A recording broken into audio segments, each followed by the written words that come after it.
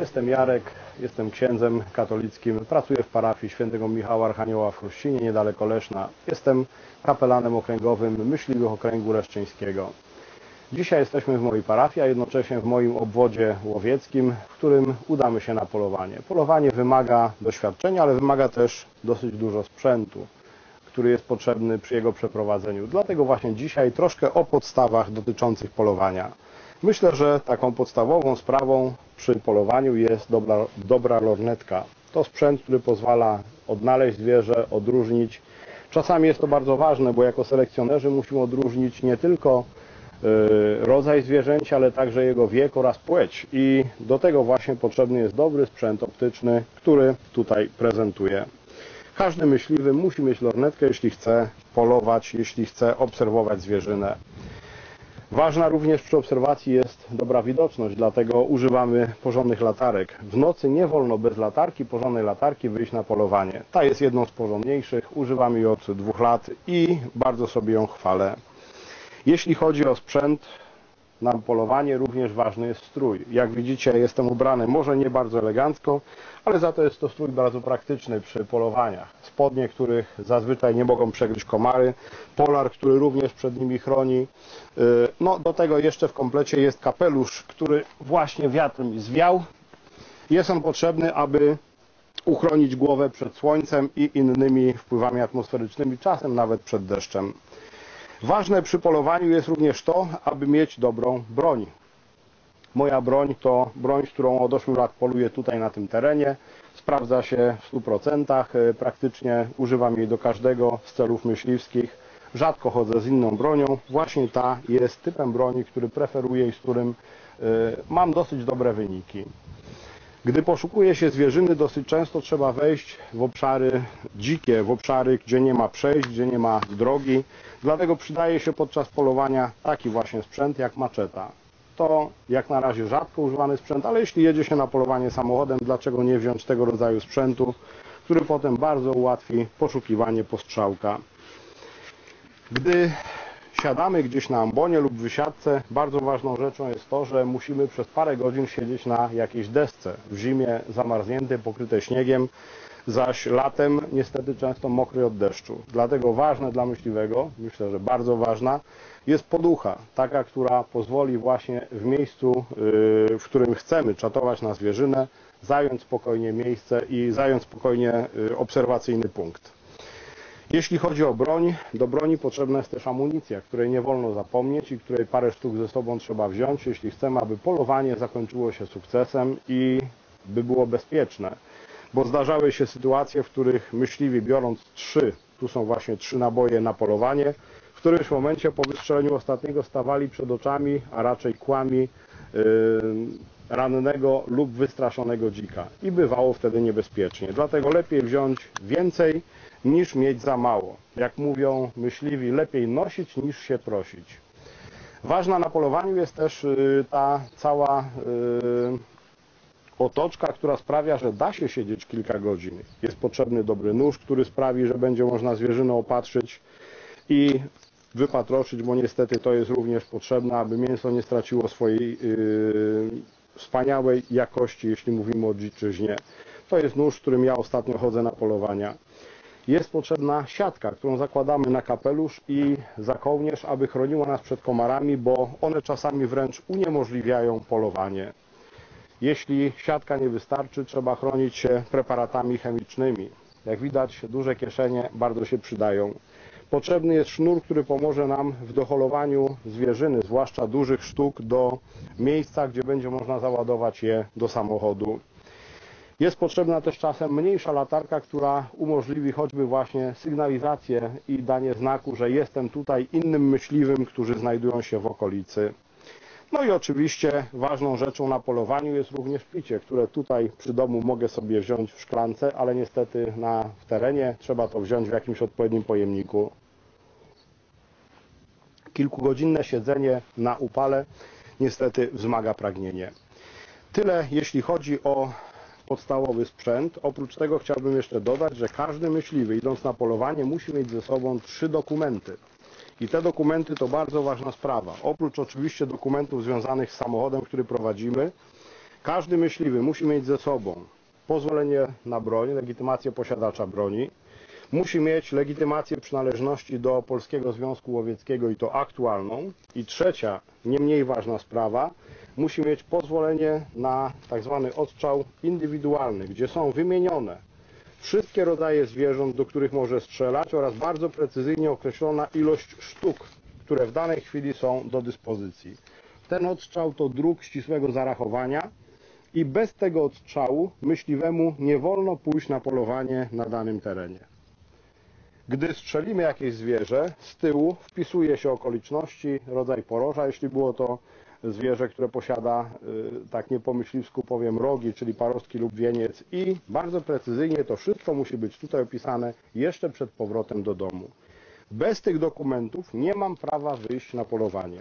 Oprócz tego każdy z nas, gdy idzie na polowanie, musi się wpisać do zeszytu ewidencji wyjść w teren. Jeśli się tam nie wpiszemy, nie mamy prawa wyjść z bronią na polowanie. Wraz z kolegami, z którymi realizujemy ten program, byliśmy już y, w siedzibie naszego łowczego, aby zapisać się właśnie na dzisiejsze polowanie.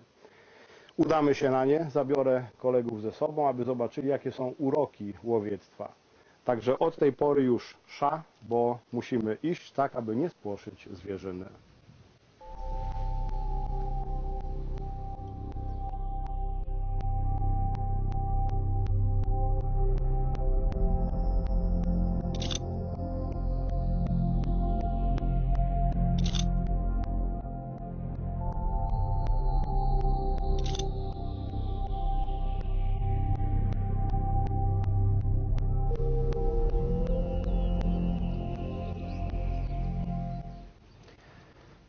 Jesteśmy w miejscowości Glinka. Jest to podobór numer 14 Górniczego Koła Łowieckiego Szarak, do którego mam y, przyjemność należeć. Przyjechaliśmy tu dzisiaj, aby chronić uprawy rolników przed dzikami, sarnami, jeleniami, które robią tutaj duże szkody. Stoimy akurat na polu kukurydzy, które jak widać y, na razie jest świeże, nieponiszczone, ale tak nie będzie. Gdy pojawią się ziarna, gdy pojawi się, mm, pojawią się kolby kukurydzy, dziki przyjdą tu, aby zrobić z nimi porządek. Jest to bardzo ciekawe miejsce i bardzo bogate w historie myśliwskie, ponieważ tutaj, gdy zaczynałem e, swoje polowania, właśnie tam na wysiadce przy samym Rowie Śląskim za nami przebiega Rów Śląski, który oddziela nas od e, pól i lasów Czerniny. I właśnie tutaj przeżywałem swoje najciekawsze przygody z kolegami, którzy wprowadzali mnie w łowiectwo. Trzeba chronić uprawy rolników, dlatego że odpowiadamy za nie. Na terenie, który dzierżawimy, jeśli powstaną jakieś szkody spowodowane przez dziki, e, jelenie, no niestety trzeba będzie rolnikom te szkody wyrównać. I dlatego staramy się też te pola chronić, aby tych szkód było jak najmniej. E, to miejsce, w którym w tej chwili się znajduję, zawiera nowy element architektury myśliwskiej, mianowicie nową ambonę. Będziemy z niej za chwileczkę korzystali. E, jest tu więcej takich e, urządzeń myśliwskich. Tam około 200 metrów od nas jest wysiadka zamontowana na jednym z drzew. Dlatego, że jest to miejsce, w którym zwierzyna bardzo chętnie przekracza rów śląski, rów polski i przechodzi właśnie wzdłuż tej linii drzew widocznej po prawej stronie, e, aby tutaj na polach mieszkańców Glinki robić spustoszenia. Od lat pilnujemy tych pól i od lat staramy się, żeby właśnie były one jak najmniejsze. Widoczność jest piękna, pogoda cudowna, dlatego myślę, że czas już y, o tej godzinie wejść na ambonę. Zresztą jako ksiądz, osoba duchowna, czuję nieodparty pociąg, aby się tam pojawić.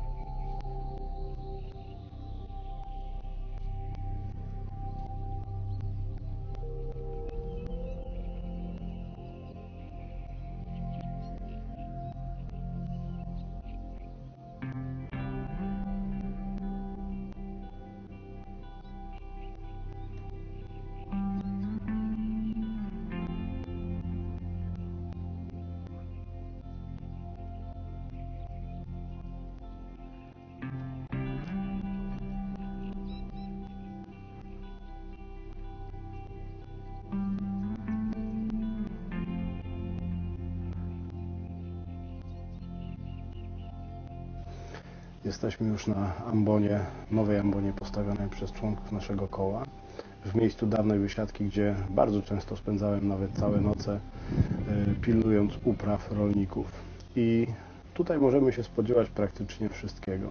Pamiętam, siedząc w tym miejscu, strzeliłem pięknego dzika tu w kierunku na spalony most, gdzie jest droga, gdzie, jest, gdzie są drzewa, które osłaniają wyjście dzików e, z rowu, z trzcin, a zwierzyna ma zwyczaj wykorzystywać każdą osłonę, jaka jej się e, nadarzy. No i właśnie tutaj często wychodzą duże dziki, idąc przez pola, przez łąki na pola rolników, aby e, dojść do silosu, pojeść kiszonki, wyrwać trochę kukurydzy. Przed chwilą właśnie widzieliśmy, że już tu na tym świeżym polu są dosyć duże szkody, y, ponieważ wcześniej też była tu kukurydza i dziki szukają tej starej kukurydzy, ryjąc ziemię, zostawiając potężne dziury. Możemy się tu spodziewać dzika. Dziki przychodzą tutaj z ostoi, z lasów y, w kierunku Czerniny, gdzie odpoczywają przez cały dzień i wieczorem, kiedy się ściemnia, przychodzą na żer właśnie tutaj, gdzie jedzonko jest no, wręcz przysłowiowo podane na talerzu. E, Możemy się też spodziewać jeleni. Kilka dni temu siedząc 200 metrów dalej stąd na jednej z wysiadek obserwowałem przez dłuższy czas chmary, czyli stado, tak to się w języku łowieckim nazywa, e, stado jeleni. E, Wychodziły z lasu, coś tam sobie poskubały, wchodziły z powrotem, obgryzały gałązki z drzew i potem, kiedy się ściemniło, schowały się w mateczniku w lesie. Nie wiem, co dalej z nimi było, ale i tak widok był piękny. Można się tu spodziewać saren, które przychodzą wzdłuż rowu śląskiego, rowu polskiego, które niedaleko tu przebiegają i podjadając tatarak y, powoli, powoli przemieszczają się wzdłuż tej naturalnej osłony, jaką jest trzcina.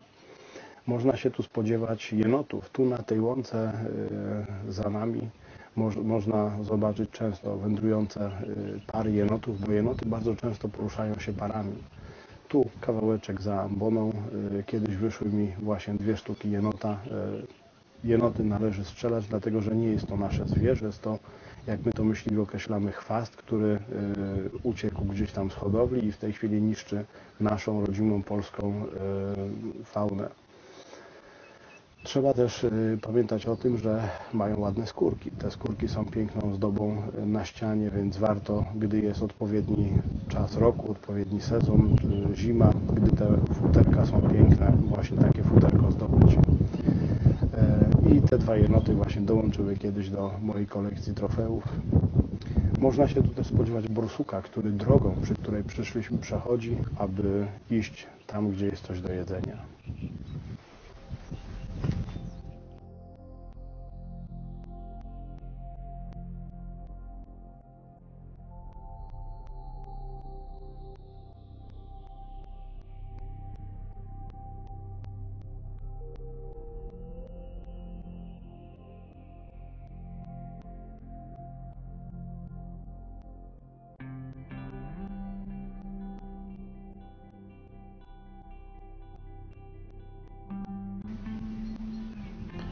Patrzymy w tej chwili za rów. Tam są takie bagna, miejsce, gdzie zwierzyna przebywa, wypoczywa, czasem wychodzi żerować. E, I tam kiedyś zdarzyło mi się strzelić dzika, ale niestety był za